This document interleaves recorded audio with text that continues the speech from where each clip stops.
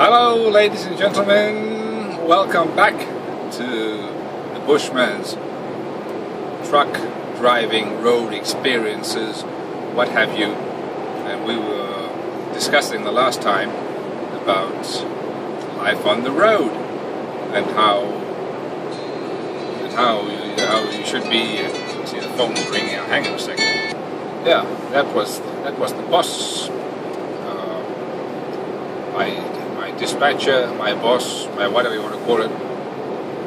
As in transport, transport is not just a one-man job. You, not just you sitting in the truck alone on the road. No, no, no. It's, you got to see the bigger picture. Transport is all about teamwork. Teamwork, teamwork, teamwork. With you being part of the longer chain of events. So, like, like now, my phone rang, and that was my the principal, my boss, my dispatcher, or speditor, as they call it. Now, just as much as she's she's reliant on me, she gives me information, and she plans my trips. Um, but she can't, she can't, she can't rely on me if we don't have a teamwork, if we don't have an understanding. If I don't do what she plans, then then you can't do her work either. If you know what I'm saying. So it's, it's a two it's a two way street. You know, it works both ways. So this is this is what transport is about. Some some people tend to misunderstand and think that it's a boss barking out orders, do this, do that, do that, and you just got to say Yavol Massa, Yavol Massa. No, no, no. It don't work that way. It's a teamwork. It's a two way. It's a two way street. And if you have that proper communication, and if you, most importantly, are honest with each other, then uh, transport is a fantastic business. Things work out well. But if you, one of you is dishonest, not quite on, not quite with the truth, then things tend to go horribly wrong. So uh, this is this is another thing. So always be, always be honest with your dispatcher, your what whoever it is that you, work together with. And that way, there you'll have you'll have a good relationship, and things turn out smoothly, and both for both of your sakes uh, happy. So that was that was uh, straight straight. I wasn't I wasn't supposed to be talking about that, but she happened to phone. Now another important thing as a driver is that you can drive for hours and hours. You can offload, you can load, you can open the sides of the trailer, both sides. You can you can secure your goods. You it. You can get covered in filth and mud and snow and ice and rain, and you you can do all. Driving chickens, whatever. You can do all the stuff all the hard work, all physical work, all driving work. But at the end of the day, if the most important thing, when all is said and done, is the paperwork, the documents. If you don't have, if you're not able to control, or if you're able to figure out how to take care of your paperwork, to your paperwork in order, and have everything stamped signed, dates, what have you, then it means people who work in the office, people who deal with the documents, people push documents from one office to the other office to another company or backwards and forth in order for money to change hands. Uh, this is what it's all about. Is you do this work, you drive, you move stuff, money changes hands. But in order for money to change hands, you need the paperwork. Simple as that. Paperwork with this, with this perfectly with stamped and signed, sealed, and delivered. And when that, once that is signed, it's a, it's a legal document, and money will change hands. But if you, as a driver, are not able to do even the most simple thing of taking care of your paperwork, all that driving, all that physical work, all that what have you, all that standing in traffic jams, all that frustration, all that maybe even anger, all what, whatever would have been in vain. Simple waste of time. We should, you should, have not, not, you should not have even bothered doing it if you're not able to do the most basic thing of taking care of your paperwork. So always keep that in mind. Always check, and especially if you do international cross-border. I'm thinking more of Europe. Uh, you do from the outside from the EU, outside to the EU, and you got your customs documents, you're going to have that in order. Be very, very, very careful to have that triple check, that quadruple check. Make sure it's 100% in order because there's no point in hanging, in coming to some, I don't know, Soviet Union or some or Soviet Union or Russia or, or some border in the Baltic somewhere there, and you're unable to get, and you'll be standing in the in the in the, in the, in the line hours and hours and hours to get in to the country your goods, and then suddenly find that one piece of paper or something, some document, some T document or whatever it is, is missing. They won't let you in. They just will not let you in, and some quite often ends up with your your your shipping company having to send a courier service with the right documents, for with everything, all that way, so they can get your sorry ass into that country there because you were you were too lazy or you didn't have a clue or you didn't know uh, how to take care of paperwork. So please, ladies and gentlemen, always be wide awake when it comes to that. Now, moving moving on, there's there's some uh, paperwork business there. How you are, your attitude. What kind of person are you? Are you are you a friendly person, or are you an unfriendly person? Are you a relaxed person? Are you control of your emotions? or you or you're just an angry person? These things matter when you drive. Now, it's a bit like what they say eating food you are what you you are what you eat. Okay, and basically same thing comes to when it comes to driving. You, how you behave on the road means a lot. It means if you're going to be a aggressive bully, basically a pig on the road. Well, don't, what goes around comes around, and basically the same things will happen back to you. Okay. Now, when you drive you big truck, when you drive a big articulated truck or whatever truck you drive, you must remember this comes with great responsibility. You, you, you have a machinery which weighs over 40 tons, plus or minus, you are the big on the road. You are the big one. You are the large one on the road. You fill the road. And you remember when you sit in your truck in your world, you don't, you don't, you don't, you can't you don't fathom what it's like to drive beside the truck in a car, being the small one, being the fearful one.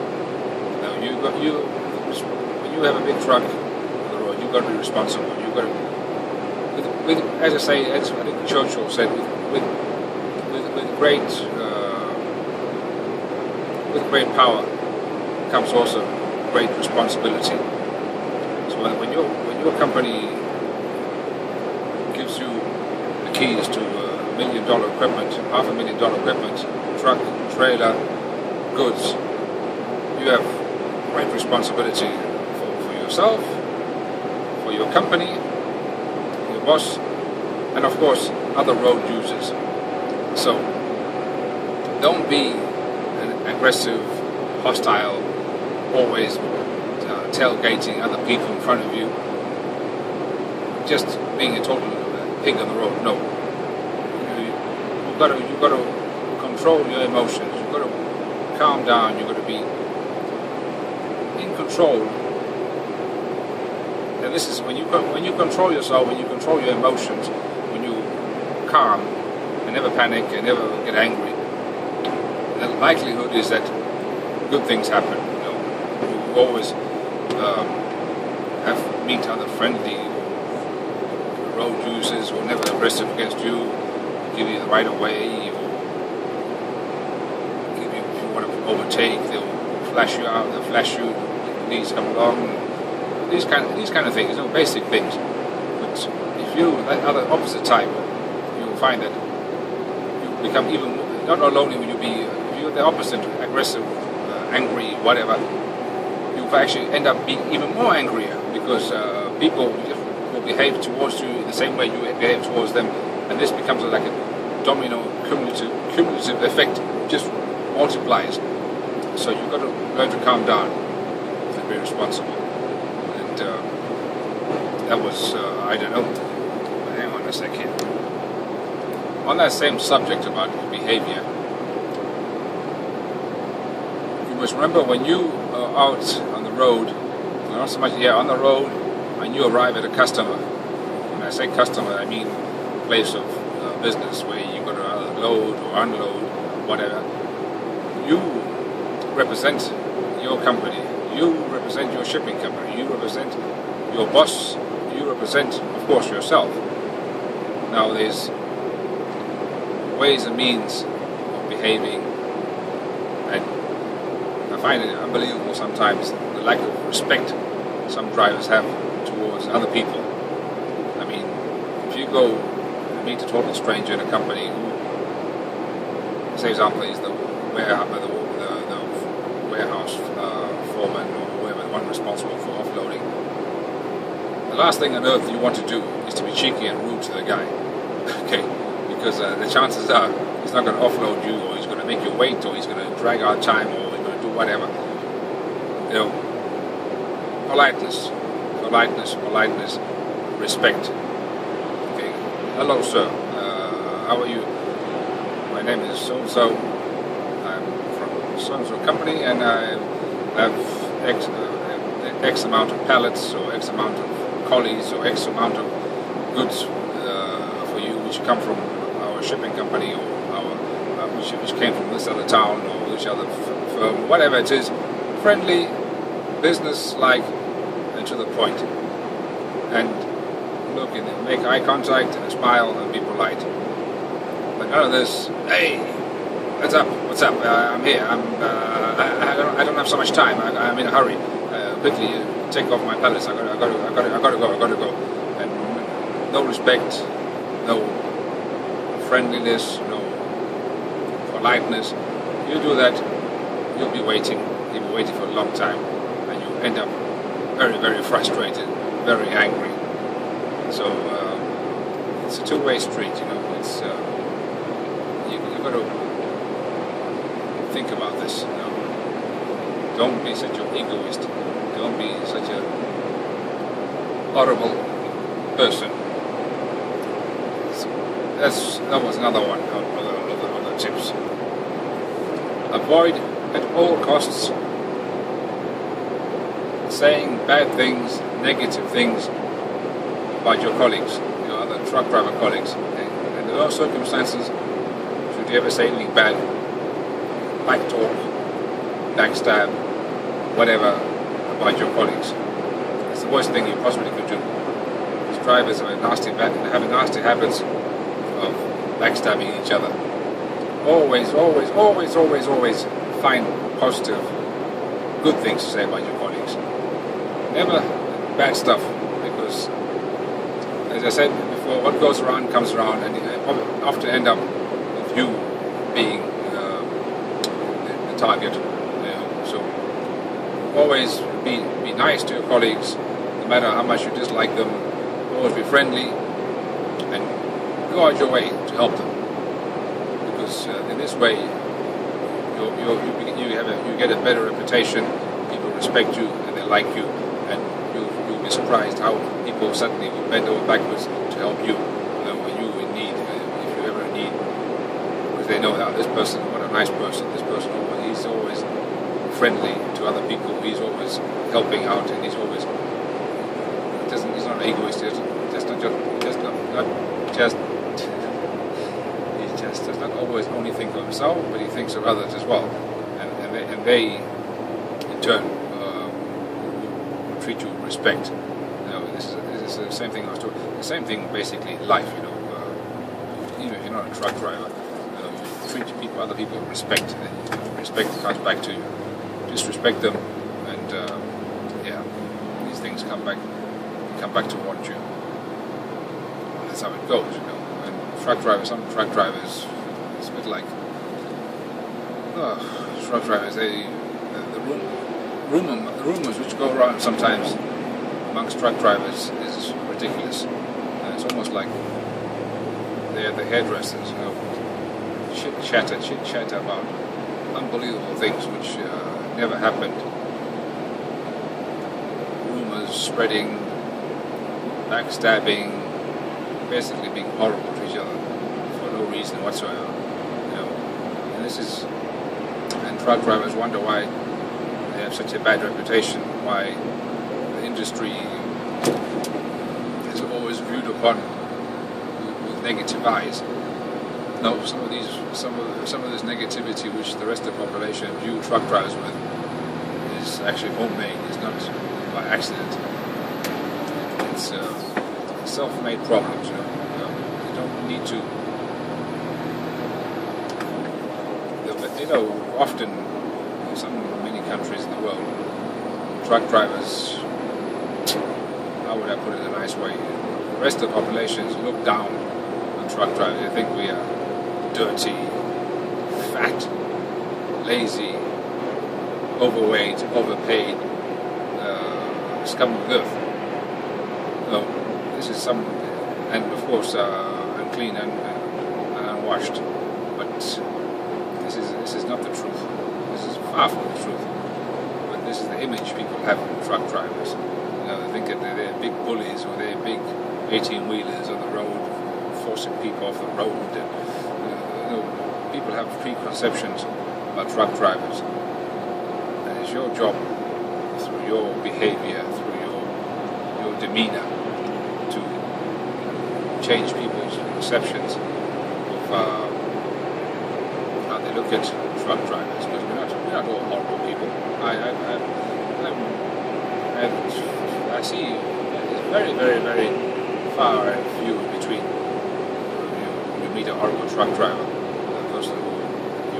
time of to, to it does happen, but it's I don't see them that often, I should be honest. But I'm more surprised with the reaction of the general population towards truck drivers that uh, why it should be so negative. Is it because the, it must be because people behave badly and don't respect others and think, ah, I have my big 18 wheeler, I'm king of the road, nobody else can go go and jump. You know, it's a very poor and bad attitude to have. You have to remember, you know, the road doesn't belong just to you. It belongs to everybody. We all use it for all our purposes. Uh, even, even, even the caravan drivers are allowed to be on the road. Damn it. Even they are allowed to be the drive on the road. No matter how much they irritate you, how much they frustrate you, but even they, they should be in place for them as well don't get too angry with them when they drive in there sometimes, how, how should we put it, strange manner. But, you know, I wouldn't even want to think about having to jump in a car and drive a caravan, putting a caravan. It's, the thought is horrible. It's unthinkable. Actually, if I, have, if I actually, if I have actually won the big lotto, uh, jackpot, millionaire, whatever it is, the first thing I probably would do is buy a caravan doses with, with, with petrol, set the thing on fire, just just to get rid of some of the frustrations of it. Um, having to follow caravan kilometer after kilometer after kilometer because we're in, in, in a zone where there's no truck overtaking allowed, and this guy is just driving as a total plonker. So um, it's just probably just do that just to get this caravan business out of one system. You know? That's just a ridiculous thought.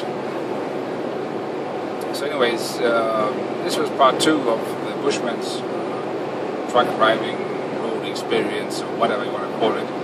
And uh, we shall come in with more installments later on, more segments on this, so that this video is not just too long, it's almost too long. Yes, so we shall meet in episode three, I think, we shall be.